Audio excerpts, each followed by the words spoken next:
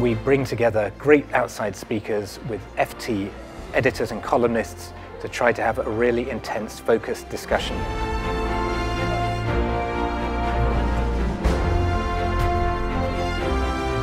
Quality of the speakers are all fabulous. Hearing people like Kofi Annan and Bill Gates talking uh, around what they're passionate about, around leadership qualities, um, are all extremely exciting.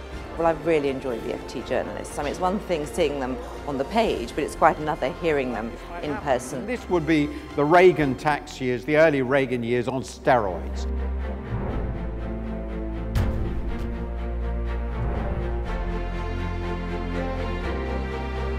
Makes you think about things that you don't think about in your day job. It's so easy to become uh, very myopic uh, and think about our own industry.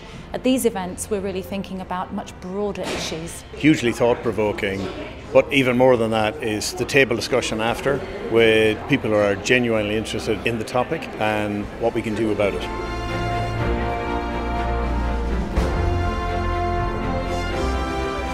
Talking to peers around the challenges that they face, lots of common issues, and picking up hints and tips is a really valuable part of uh, coming to these events.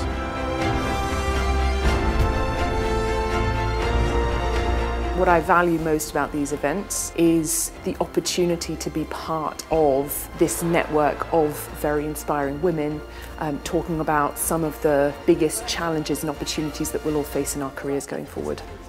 I actually get to see the diversity of roles that women are taking in their careers at various stages of their leadership journey. For me, the top three benefits would be networking, ideas and interesting conversations around those ideas.